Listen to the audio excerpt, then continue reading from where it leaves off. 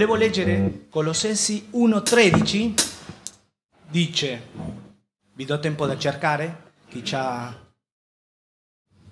Colossesi 1.13, allora in Colossesi 1.13 dice, Dio ci ha liberati dal potere delle tenebre e ci ha trasportati nel regno del suo amato figlio. In lui abbiamo la redenzione, il perdono dei peccati. Egli è l'immagine di Dio invisibile, il, pro- il primogenito di ogni creatura, poiché in Lui sono state create tutte le cose che sono nei cieli e sulla terra, le visibili e le invisibili, troni, signorii, principati, potenze, tutte le cose sono state create per mezzo di Lui, in vista di Lui. Egli, egli è prima di ogni cosa e tutte le cose sosti- sost- sussistono in Lui, scusatemi. Amen? Penso che ci sono più di un motivo per lodare al Signore. Lo vogliamo fare insieme? Ci mettiamo in piedi, per favore?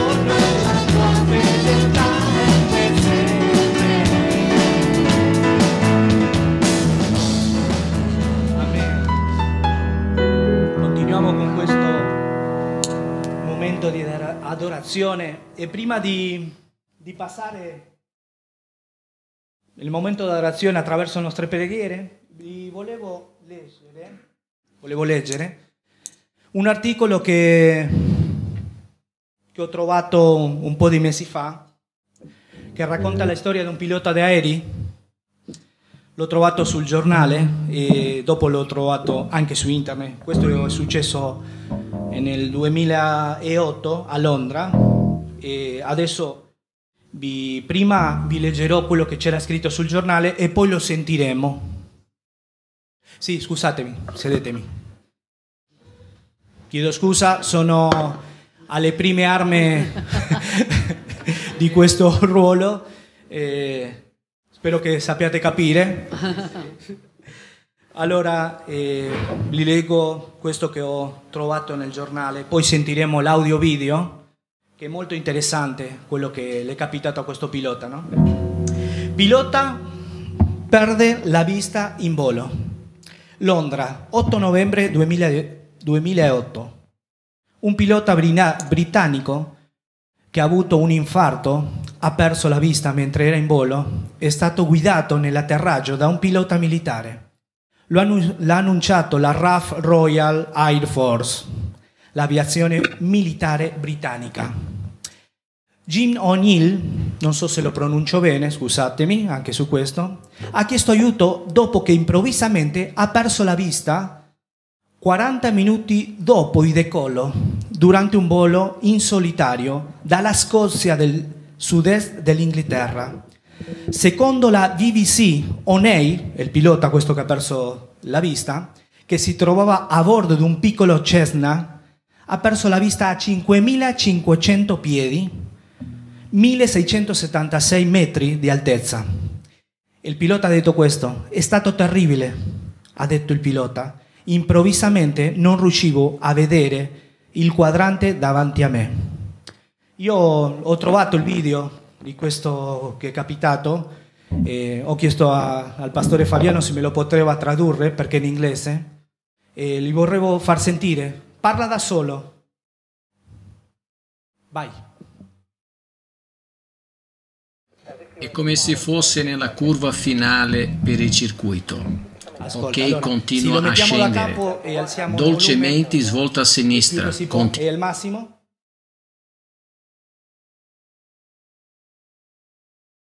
È come se fosse nella curva finale per il circuito. Ok, continua a scendere. Dolcemente svolta a sinistra, continua a scendere. Continuando a girare a destra, svoltando a destra. Continua a girare a destra, proprio sul retro, girando a destra. Girando, girando a, si- a destra. Passa a sinistra, passa a sinistra. Continua a venire a sinistra, continua a venire a sinistra più deciso e girando fuori.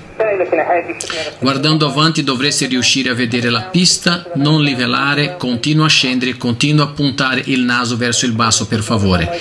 Una visuale della passerella dovrebbe, della pista dovrebbe essere proprio a mezzogiorno adesso. Vedi la pista? No signore, mi dispiace davvero. Nessun problema. E mi confermi che sei su un aereo? Ok, continua a scendere, continua a andare dritto, sei puntato direttamente sulla pista. La vedi adesso? No, signore. Quindi non riesci a vedere la pista? Non riesco a vedere la pista. Adesso è quasi sotto il tuo naso. Guardi avanti, proprio sotto il naso continua a scendere. Ho capito, signore, grazie. Adesso sei al sicuro. Mi hai guidato fino alla fine.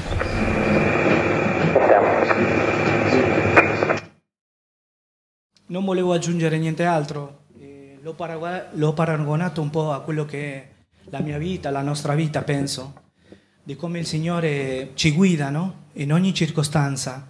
E io sentivo questo pilota, diciamo, che era nella torre di controllo e che guidava questo altro pilota d'aereo e sentivo quelle parole dolci, quelle parole di tranquillità, no? che dice piano piano, vedi, vedi, la pista? No, le diceva il pilota che era sull'aereo, no, non la vedo, perché non, non vedeva niente, no? E sentivo queste parole dolci, queste pa- parole di, di, conforto, di incoraggiamento, no? Perché beh, cercate di capire la, il momento, no? Non vedere per atterrare le, con l'aereo. E, e veramente l'ho paragonato alla mia vita, la, la dolcezza e l'amore che ha il Signore per ognuno di noi. E io vi invito eh, a, a, non rimanere zitti, magari poche parole, non c'è bisogno di grandi discorsi, il Signore è qua con noi e ci vuole parlare, ci vuole benedire. Abbiamo tutti dei problemi e delle difficoltà, ma questo è il momento per ringraziarlo per quello che ha fatto e farà nelle nostre vite. Amen? Amen. Padre, ti ringrazio per questo momento, Padre, che ci doni di poter stare davanti alla tua presenza, Padre. Amen. Noi non siamo nessuno, Padre. Siamo, Padre, persone che amano eh, seguire te con tutte le difficoltà del mondo, Padre. Grazie perché tu sei in mezzo a noi e so che parlerai ai nostri cuori, Padre, attraverso la preghiera, attraverso la predicazione e attraverso altri mezzi, Padre. Grazie per la tua presenza. Nel nome di Gesù. Amen. Amen.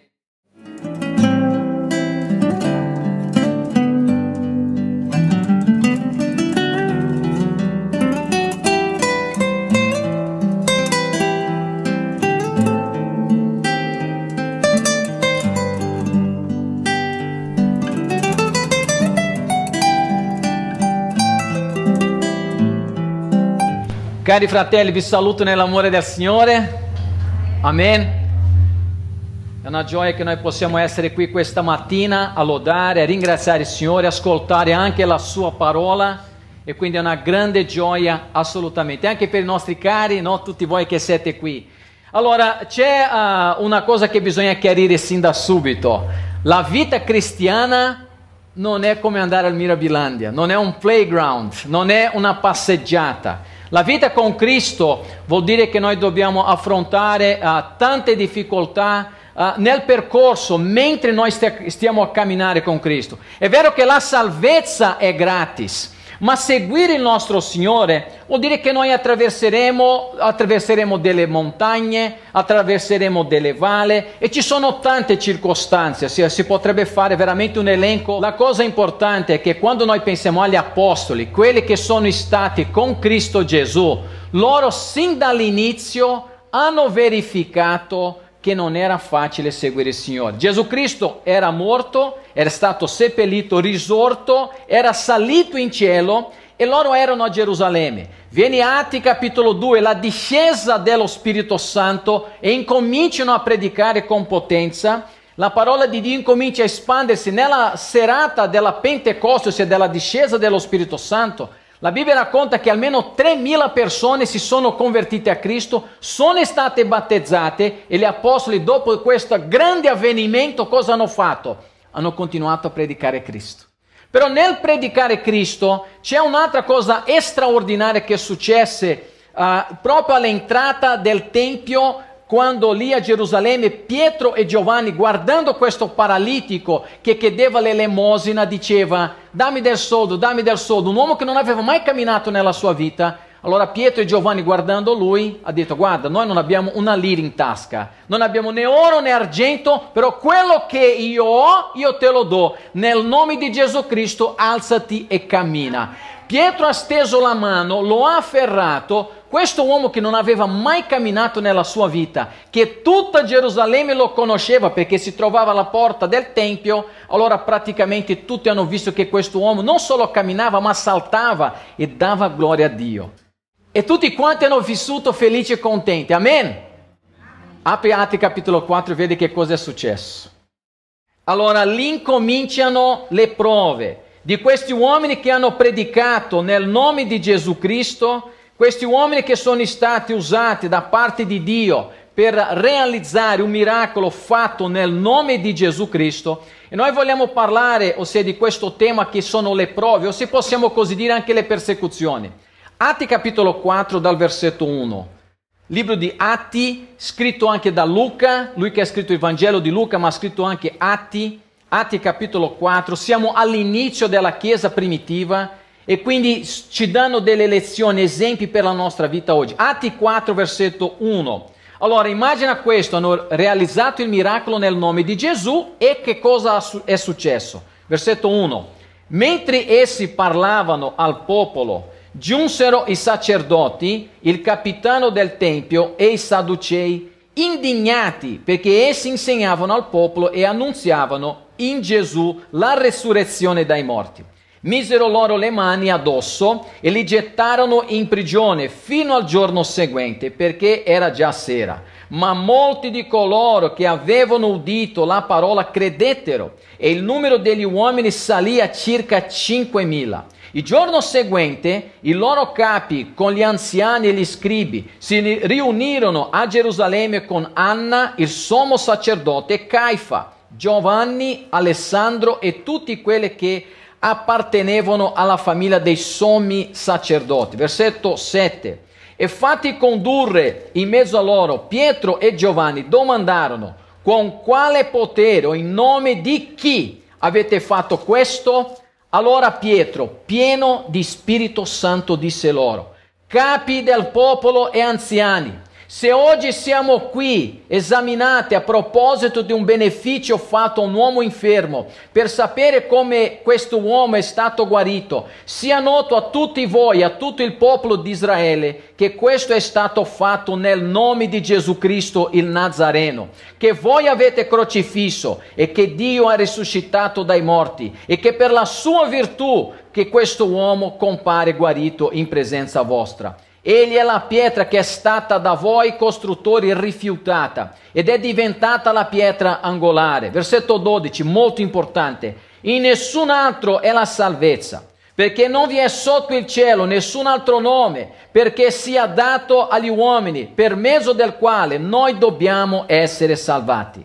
Essi, vista la franchezza di Pietro e Giovanni, si meravigliarono, avendo capito che erano popolani senza istruzione, riconoscevano che erano stati con Gesù. Vedendo l'uomo che era stato guarito lì presente con loro, non potevano dir niente in contrario. Ma dopo aver ordinato loro di uscire dal Sinedrio, si consultarono gli uni con gli altri dicendo, che faremo a questi uomini? Che un evidente miracolo sia fatto per mezzo di loro è noto a tutti gli abitanti di Gerusalemme e noi non possiamo negarlo, ma affinché ciò non si diffonda maggiormente il popolo, al popolo, tra il popolo, scusate, ordiniamo loro con minacce di non parlare più a nessuno nel nome di costui. E avendoli chiamati, imposero loro di non parlare né insegnare affatto nel nome di Gesù. Ma Pietro e Giovanni risposero loro: Giudicate voi se è giusto davanti a Dio obbedire a voi anziché a Dio. Quanto a noi, noi non possiamo non parlare delle cose che abbiamo viste e udite. Ed essi, minacciateli di nuovo, li lasciarono andare, non trovando assolutamente come poterli punire a causa del popolo, perché tutti glorificavano Dio per quello che era accaduto. Fermiamoci qui.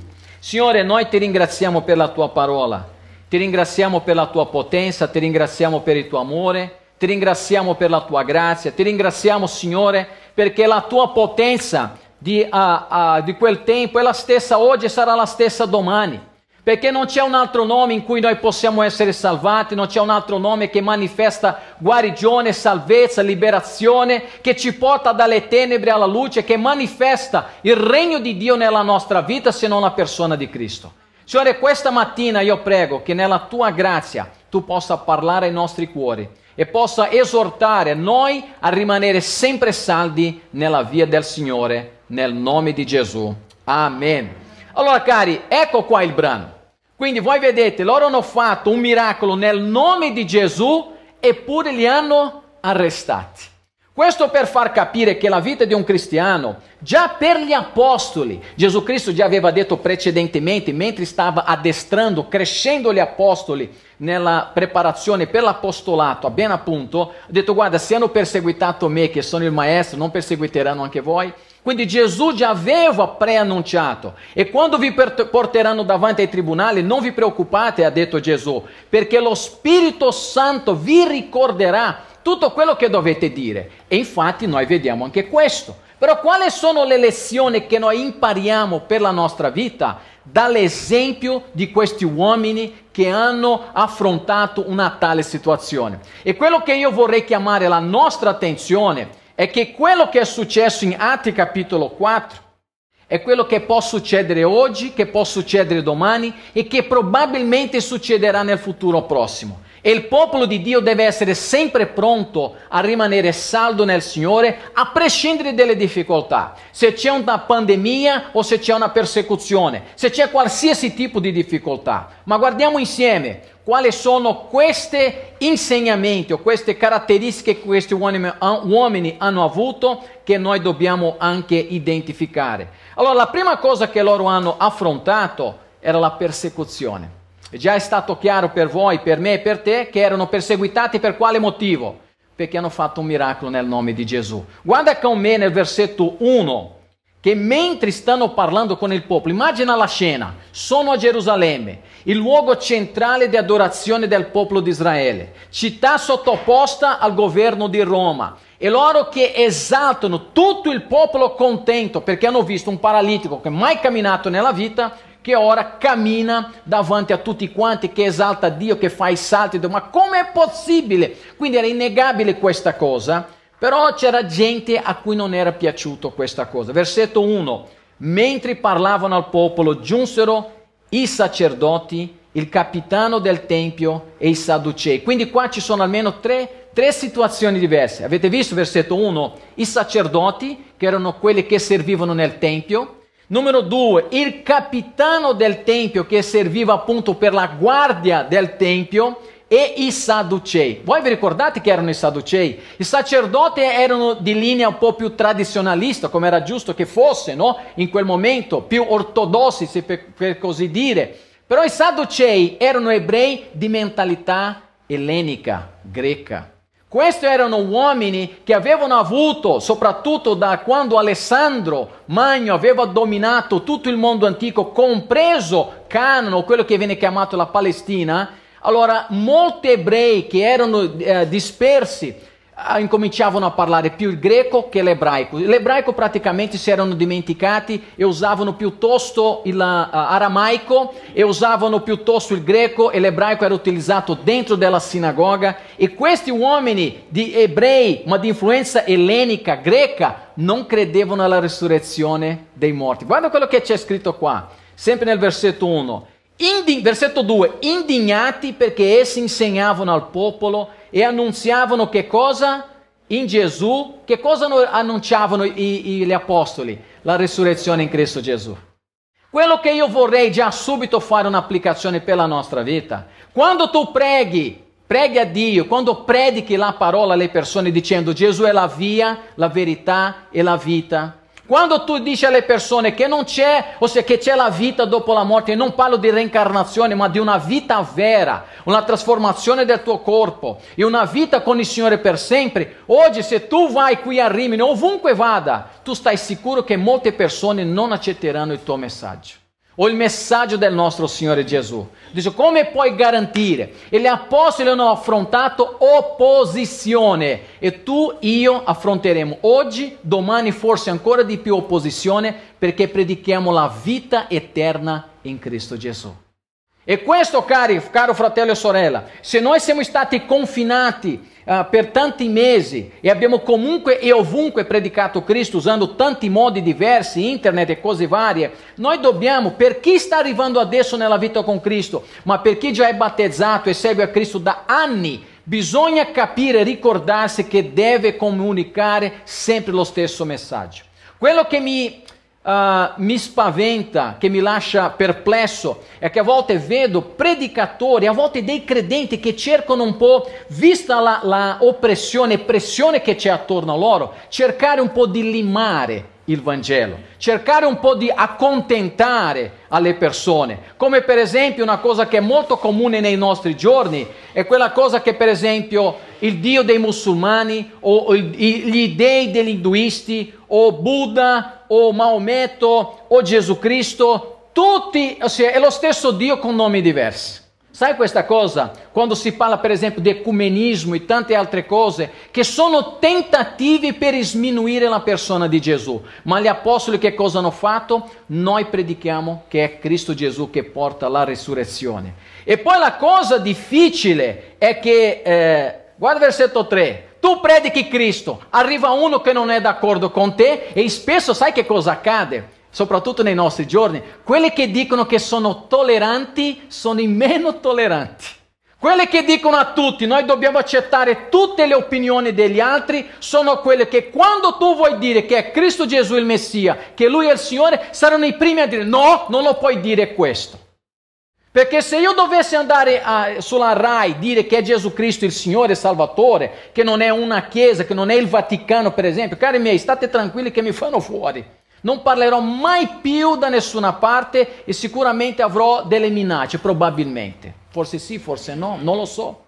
Però una cosa è certa, cari, noi dobbiamo, abbiamo un messaggio, dobbiamo predicare, predicare Cristo, ma dobbiamo aspettarci prove, persecuzione, prove per la vita del credente. E nemmeno per questo noi dobbiamo molare. Versetto 3, che cosa accade? Sempre in questo punto 1. Misero loro le mani addosso quindi, ossia, già sono arrivati con la prepotenza, misero loro le mani, li le gettarono in prigione, quindi come due cani, due animali, li hanno buttati Pietro e Giovanni, uomini semplici ma, come noi vedremo tra poco, pieni dello Spirito Santo, predicando la parola del Signore. Io mi auguro nel Signore che questo non accada qui in Italia, ma in Italia già è successo questo, molte volte, soprattutto nel Medioevo, e magari più tardi vi farò un esempio di questo ossia di gente che ha predicato Cristo che è stata perseguitata. Oggi se tu vai uh, in un paese come la Siria o in paesi islamici, uh, tu sei chiamato un nun, un nun sarebbe quello che segue Cristo, che è un cristiano.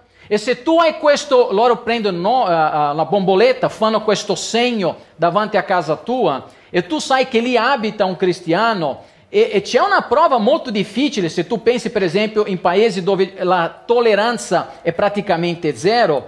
Allora, dove i cristiani sono perseguitati, sono stati uccisi recentemente, se tu vai in Cina, la Cina è una potenza economica, ma è una potenza di oppressione contro la Chiesa di Cristo, dove i cristiani sono perseguitati dove adesso il sistema moderno, riconoscimento facciale e punteggio che le persone hanno, perché non so se siete al corrente, tu hai dei punti. Prima solo i punti per la patente, come qui in Italia, no? Adesso l'essere umano, la persona, il cittadino ha un punteggio.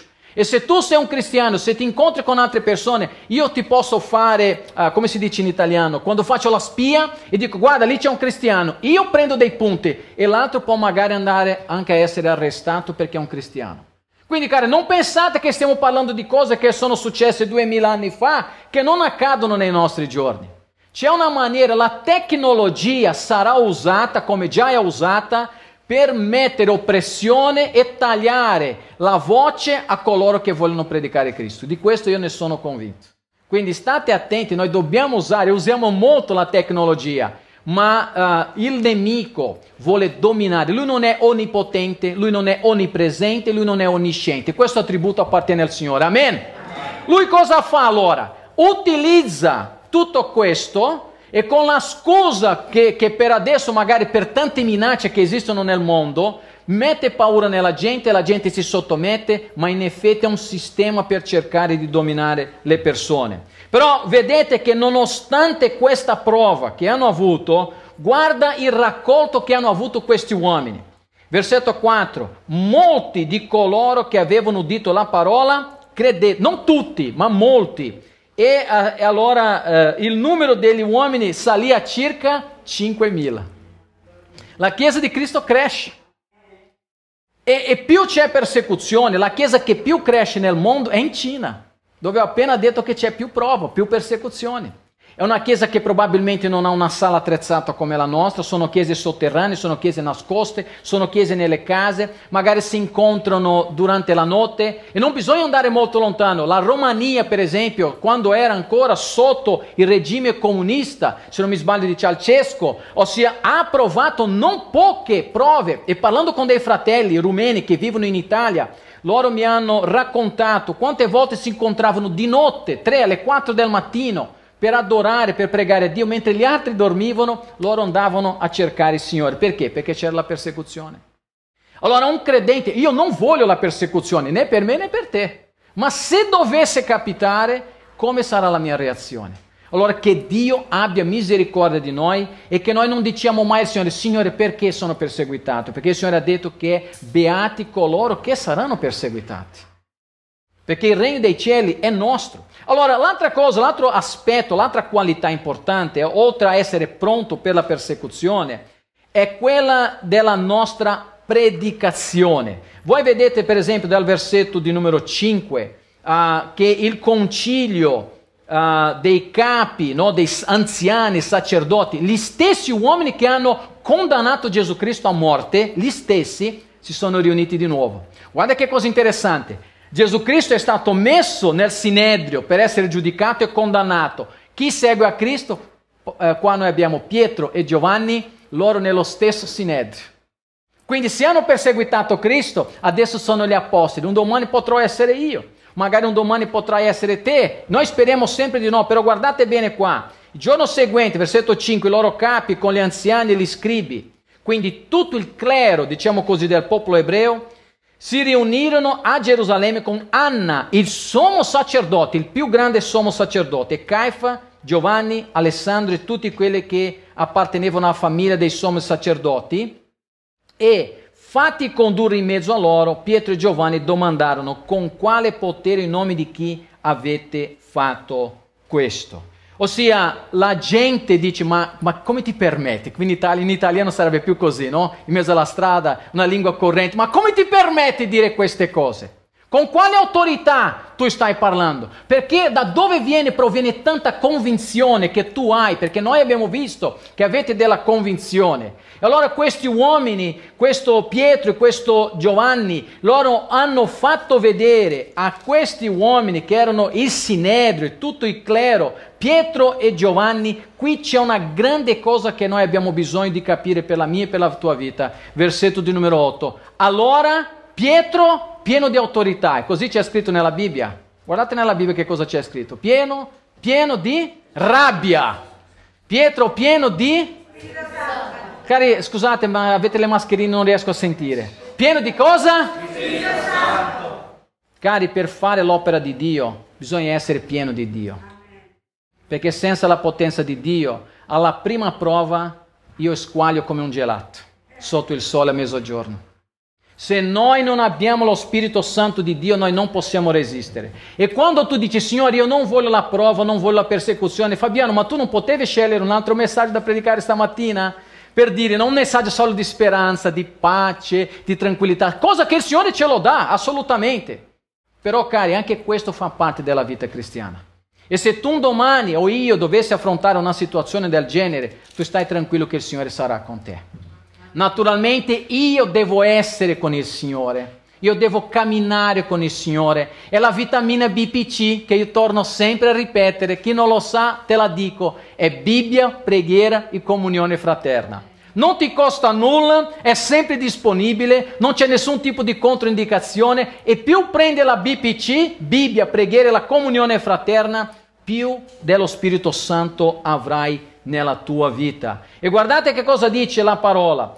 Questo Pietro, pieno dello Spirito Santo, l'uomo che aveva rinnegato il Signore poco, circa 60 giorni prima, anche più o meno all'incirca, capi del popolo e anziani.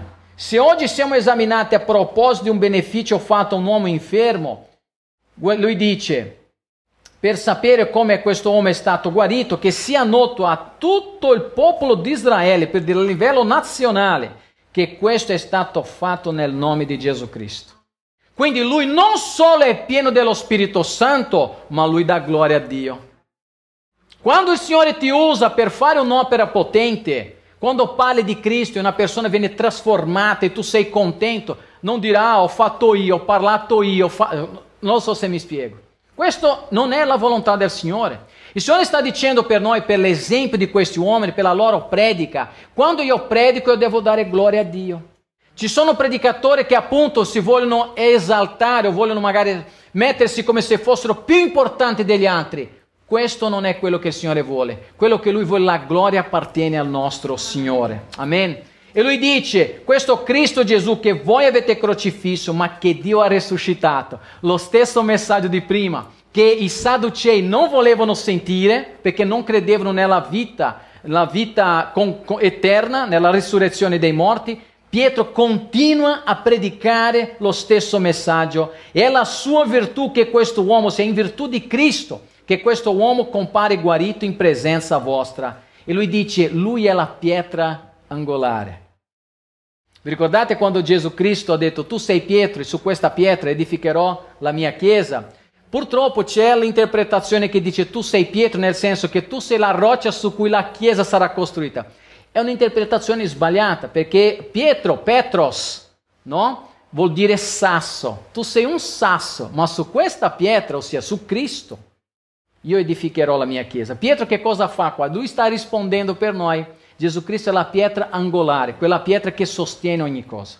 Colui che sostiene la Chiesa, su cui oggi noi possiamo vivere e avere il Signore con noi. E lui continua dicendo, Egli è la pietra angolare e in nessun altro è la salvezza, perché non vi, non vi è sotto il cielo nessun altro nome che sia dato agli uomini per eh, mezzo del quale noi dobbiamo essere salvati. Il cristianesimo, il nostro messaggio è esclusivista. E questa è una cosa che non garba alle persone oggi. Perché ognuno vuole avere voce in capitolo quando si parla dell'aldilà, della salvezza, della risposta per il nostro essere. Però l'essere umano deve comprendere che è un peccatore e che c'è solo un modo, e non due, non tre, per essere trasformato. Pietro sta dicendo che Gesù è la pietra angolare e in nessun altro è la salvezza, se non nel nome di Gesù Cristo. Voi sapete il nome Yeshua dall'ebraico, il nome di Gesù che cosa vuol dire, no? Dio salva. È Cristo è colui, è il Messia, l'unto di Dio, colui che salva. E lui parla di questa salvezza sovrannaturale realizzata nella vita dell'uomo, che il Signore ha manifestato il suo regno nel nome di Gesù nella vita di questo uomo paralitico, non solo fisicamente, ma questo uomo ha creduto. E ha creduto e quindi lui che prima era un peccatore, separato da Dio, ora ha comunione con il Signore, glorifica il nome del Signore. E oggi noi possiamo ricordare anche le del nostro Signore Gesù in Giovanni capitolo 14 versetto 6 che dice Io sono la via, la verità e la vita. Nessuno viene al Padre se non per mezzo di me.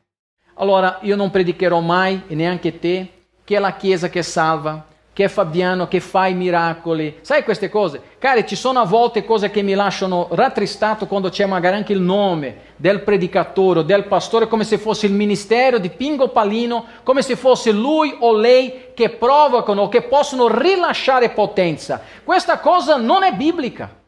L'unico, questi uomini che hanno vissuto con Gesù, hanno toccato, hanno visto i miracoli, non hanno mai detto, ah io sono Pietro, eh? ministero dell'Apostolo Pietro, ministero dell'Apostolo Giovanni, io faccio i miracoli, sempre nel nome di Gesù sempre per la gloria di Gesù. È sempre un messaggio cristocentrico che predica Cristo. Quando tu non sai dire alle persone che, Signore, adesso ho un'occasione di parlare con una persona e non so che cosa devo dire, sai, quelle, può venire, no, 5 minuti e dice, cosa devo dire a quella persona che vedo che ha bisogno di conoscere la parola, che cosa devo dire? Parla di Gesù. Quando tu non sai cosa dire, parla di Gesù. Io dico sempre, anche a un predicatore, lo dico a me tutti i giorni, se io dico, ma Signore, che cosa devo predicare domenica? Parla di Cristo Gesù. Predica Cristo Gesù.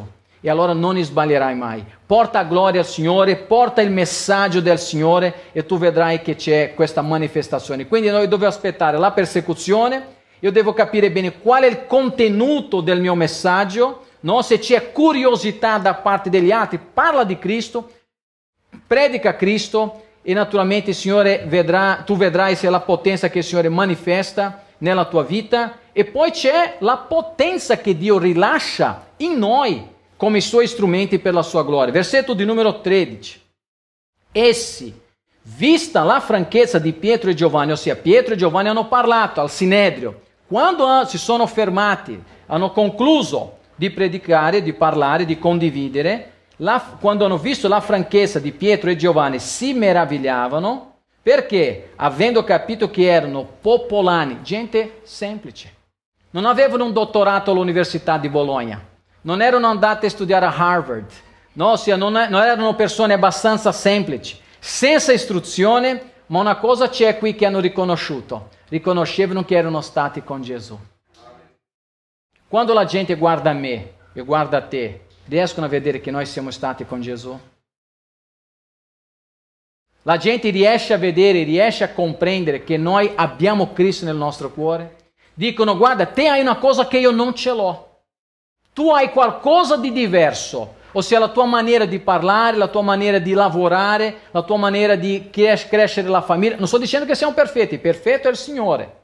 Però si vede che c'è questo desiderio di crescere, di morire per se stesso, di fare per la gloria del Signore. Allora questa è la prima potenza, la prima caratteristica che noi dobbiamo avere quando noi parliamo della potenza di Dio manifestata nella nostra vita. E non solo questo, ossia la manifestazione della potenza di Dio era anche dimostrata nell'esempio del segnale, il segno miracoloso che il Signore aveva fatto, versetto 14.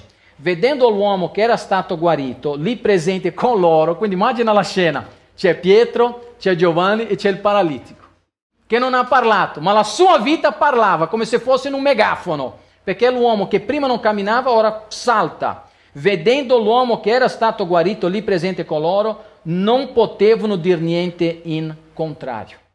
Non c'è persona al mondo, scienziato al mondo, che possa dire io non credo a quello che tu sperimenti nella tua vita con il Signore. Io non c'è persona al mondo che possa dire io non, non, riesco ad accettare questa fede, questa trasformazione che hai nel cuore. Magari lui come scienziato dice vuole analizzare Dio come se fosse portare un qualcosa in un laboratorio per essere analizzato, però lui non può negare la trasformazione di una persona che prima non aveva un motivo per vivere e oggi ha la gioia, e oggi cammina, e oggi vive, e ha la gioia di vivere una vita che porta gloria a Dio. Questo nessuno lo può negare. E io e te oggi, se noi abbiamo sperimentato Cristo nella nostra vita, la, se tu non sai cosa dire alla persona, parla di Cristo e parla di quello che Cristo sta facendo nella tua vita. Perché non c'è nessuno che può, magari non crede in Dio, ma non può negare quello che il Signore ha fatto nella tua vita. Come non potevano negare quello che il Signore aveva fatto nella vita di questo paralitico. Non potevano negare.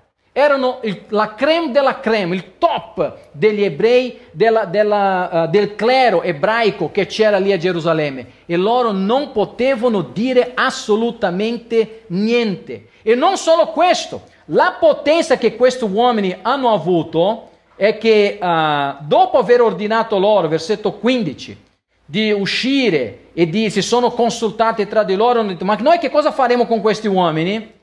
Allora loro dicono, guarda, noi facciamo in modo che loro non parlano più a nessun'altra persona, ma Pietro, versetto 19, che cosa fa? E Giovanni risposero loro, giudicate voi se è giusto davanti a Dio obbedire a voi anziché a Dio. Quindi la potenza della predica ha dato a loro la caratteristica di un vero cristiano, la resilienza, la perseveranza, la costanza. Quando una persona magari, quando la fede non è vera, squaglia. Ma quando la fede è vera, questa persona persevera. Non è un credente perfetto, ma la sua fede nel Signore lo rende perfetto davanti a Dio per mezzo dell'opera dello Spirito Santo. Dio usa le cose più ignobili di questo mondo per portare gloria al nome del Padre, del Figlio e dello Spirito Santo. E noi dobbiamo rimanere centrati. Noi viviamo in un tempo, adesso è estate, stiamo vivendo, se abbiamo la mascherina, però viviamo come se non ci fosse stata la pandemia.